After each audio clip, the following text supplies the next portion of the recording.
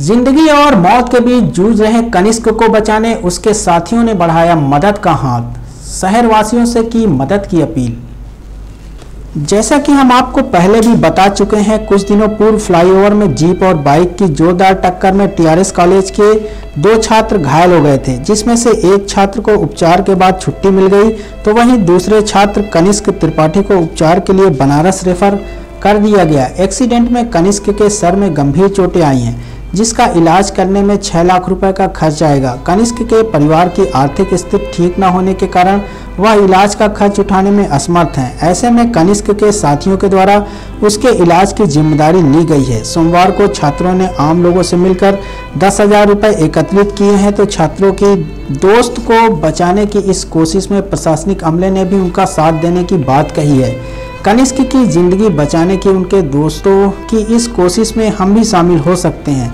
आपकी TV screen पर कनिष्क के पिताजी का अकाउंट नंबर फ्लैश किया जा रहा है, जिसमें आप अपनी इच्छानुसार मदद की सारी राशि भेजकर कनिष्क की ज़िंदगी बचाने में उसके परिवार वालों और दोस्तों की मदद कर सकते हैं। आपकी एक छोटी सी मदद एक होनहार बालक को नया जीवन दे सकती है।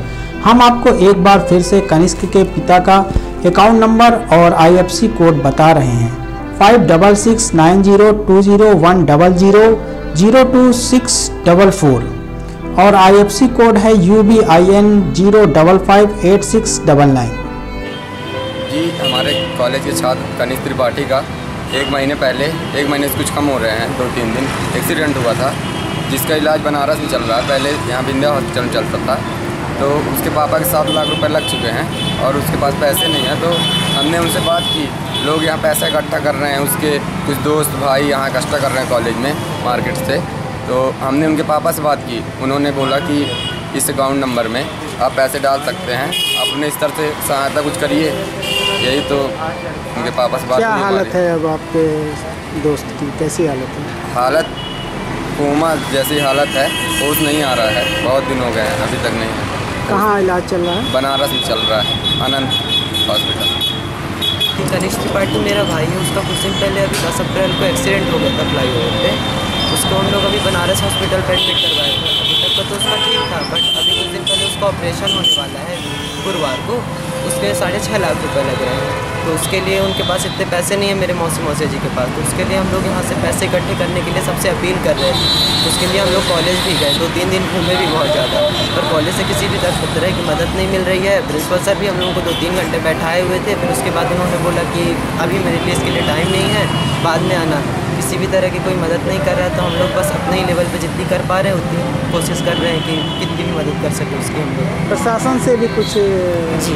हमने काफ़ी सारे मतलब न्यूज़ पे वो किया और राजेश शुक्ला जी के पास हमने वो पोस्ट वो एस्टिमेट वगैरह भेजा है बट अभी वहाँ से भी कोई मदद की उम्मीद समझ में नहीं आ रही कि वो करेंगे कि नहीं समझ हमारे दोस्त का पिछले महीने एक्सीडेंट हो गया था फ्लाईओवर पर तो गंभीर हालत थी तो उसको हम लोग बनारस हॉस्पिटल ले गए।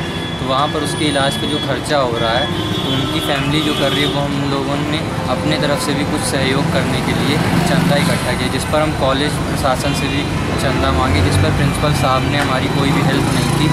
तो हम लोग लोकल लेवल पे जो भी सहायता कर सकते हैं, उस बारे में हम लोग आ- जागरूक कर रहे हैं और उनसे चंदा मांग रहे हैं कि उसकी इलाज के लिए जितना भी हो सके वो लोग इकट्ठा करके उनके पिताजी के अकाउंट नंबर में दें